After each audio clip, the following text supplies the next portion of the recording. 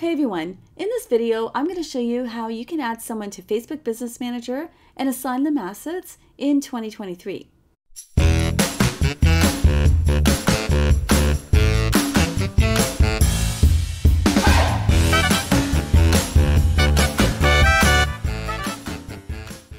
Now, Facebook Business Manager is great because it allows you to manage your Facebook pages or multiple Facebook pages, your ad accounts, and other assets all in one place. So this is where you can add people or even agencies who are going to help you out with your Facebook pages, your Instagram pages, your ad accounts, things like pixels, and other things that you might need help with. Now, it's very important to always assign assets through Business Manager. You never ever want to give somebody access to your personal Facebook account. So, are you ready? So, let's go ahead and let's dive in. All right, everyone. So, I'm going to show you two methods in order to add people to your business page and assign assets to them. So the first method is going to be we're going to add people through Business Manager. And the second option is we're going to add people through the new Facebook Pages experience. So most of you are going to go with option number one because most of you are here because you want to learn how to add people to your business manager. So if you have business manager set up and it's attached to your business page, you're going to go ahead and just do option number one and then of course scroll to the end of the video. But if you don't have your business manager set up or it's not connected to your business page, then you're going to go with option number two and you're going to scroll to that part of the video. All right. So option number one, going through a business manager. So what you want to do to get to business manager is go to business.facebook.com. So the first thing you're going to do when you get here is make sure you're in the right account because some of you might be dealing with multiple accounts. So you're going to come over here, just scroll down, pick the account you want to work with, and it's just as simple as that. Just make sure it appears. Next thing you want to do is click under All Tools, and you're going to find your business settings. So click on that, give it a second to load. Okay, and up at the top, what you're going to see is under Users, you're going to see People. So the very first thing you want to do is add the person that you're adding, and then you can assign assets to them from there. While we're here, I'm just going to point out a couple things just so you can make notes, okay? First thing I want you to see is you can see my name is added right here. So under this client account, I'm added onto her business manager. And if you scroll into the middle, you could see the assigned assets I have. Now, let's say that you add somebody, you assign them assets, and then you're like, oh, I forgot to add them to Instagram, or I forgot to give them pixel access, or whatever. No sweat. All you have to do is find their name, come over here, go over to the three little dots on the far right, click on that, and you're going to click on Edit Business Account Permissions.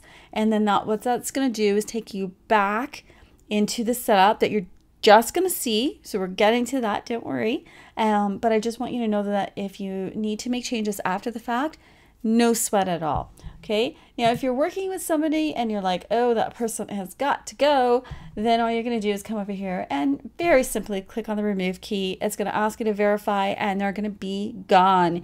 And trust me, it happens. It's very unfortunate, but if you're hiring people to work on your accounts, you will very often want to come remove them. And if you are working with somebody and you're finished working with them, and even though everything went great, definitely remove them from your account as well um, is just to protect yourself because even today I was on one of my accounts, uh, one of my client accounts, and somebody had changed her password. So I went in and I just cleaned house for her and cleaned everybody out of her system completely, except for me. so yeah, it does happen, and very unfortunately. So just make sure that you're always coming back and you're always aware of who has access to your account and what they have access to. Okay, so what we're going to do is we're just going to add a new person. So you're going to click on that add key and you're going to enter their email address. I recommend if you have assigned them a business address, email address with your business, give them that because that's your second step of security. Because if somebody has to be let go and they're a little disgruntled and you don't want them accessing anything, not only can you remove their access from here, but because it's assigned to their business address, you could close down their, their, business email address, I should say. You can go ahead and shut down that business email address on them as well, just so you're just doubly protected everywhere. Okay. Um, so what you're going to do is enter their business email address. If you don't have that, just go ahead and enter their personal email address. And once that's done, you just click on next and it's going to give you the levels of access that you want to give them. It's automatically going to assign basic access to people, or you could give them apps and integrations, or if you click on View Advanced, you can give them finance options. So if someone's sending up your financial information for your account and that's all they need, you can go ahead and give them just that part. Um, now, full control kind of gives them the control you have over your business manager. So if you've got a right hand person, um, or somebody that's going to be there when you're not or whatever, go ahead and give them full control. But don't give everybody full control because not everybody needs full control. So, for the most part, most people are just going to need a basic access at this level. So, go ahead, click uh, basic access. And for this particular person that I'm adding, I want that person to have full control. So, I'm going to click on full control where they can basically do everything, including adding people to Business Manager and deleting people from Business Manager.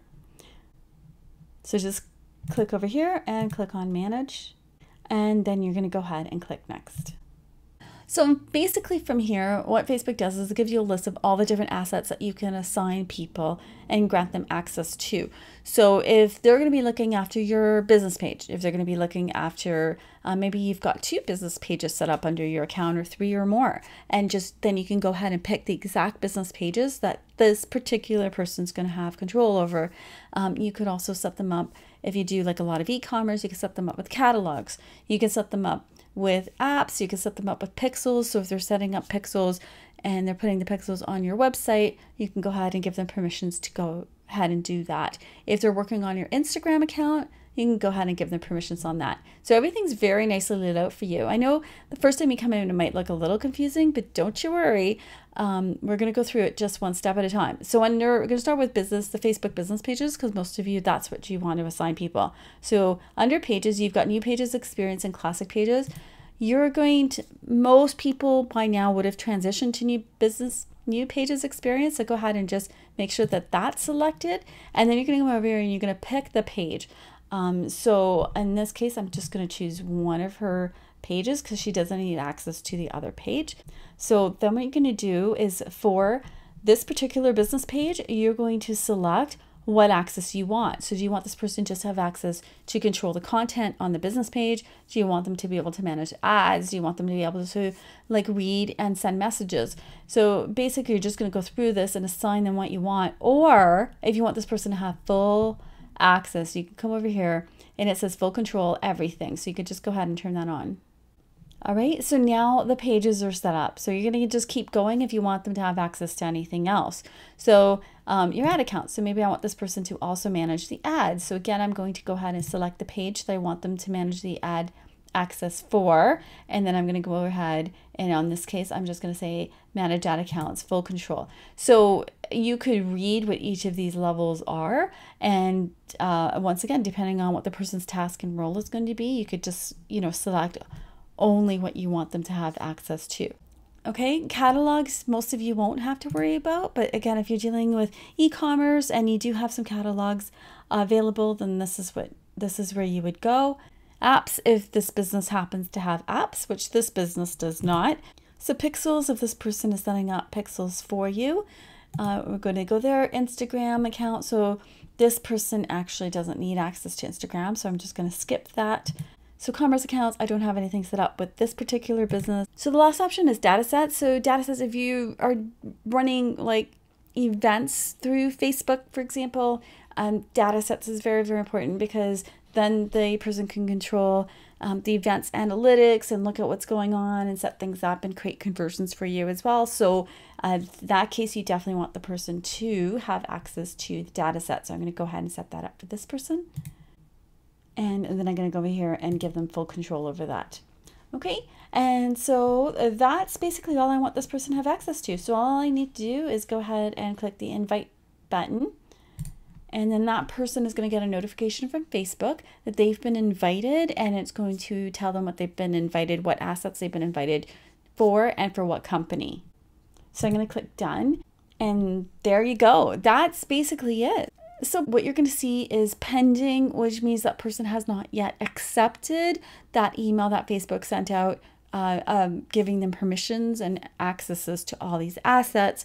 Once they accept, I will say the pending change and it uh, it will just show the person and it'll remind me again what assets I've assigned to them.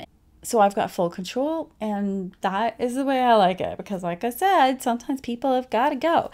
I just want to point out one other thing, just so you know where it is in case you ever need it. Okay, this is called partners. So we would just deal with people. That's where you deal with individual people that you're adding to your account. Now, let's say that you're working with an agency or a company that's going to help you and your business grow. In that case, you have an option of adding those people as a partner and you're going to go ahead and add them like people, but you're actually adding a business. So you're going to go ahead and click on partners. You're going to click on add, and you're going to give partner access to your assets, um, or you're going to ask the partner to share your assets. So if you're dealing with a company that's going to help you with Facebook ads, for example, they'll let you know how they prefer to be added, um, but it doesn't really matter because you're going to have that control in your business manager and you're going to be able to easily remove them as well.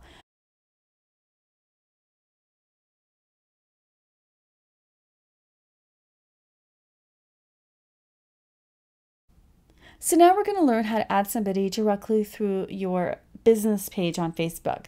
So for that, what you want to do is just go to facebook.com, okay, and make sure that on the very far right, you're going to click on it. And what you're going to do is switch to your business account and you're going to go to settings and privacy, and then you're going to click on settings. From settings from the left, you're going to click on new pages experience.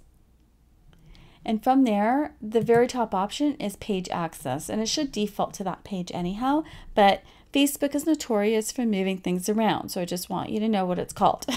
so you're gonna go to page access, and then basically you've got options where you could add people directly and give them access to your business page, or you can give them certain task, as task assets, say that 10 times fast, task assets, and then you could also give them business access through here or you could give a partner, which is a business, you can give them access through here.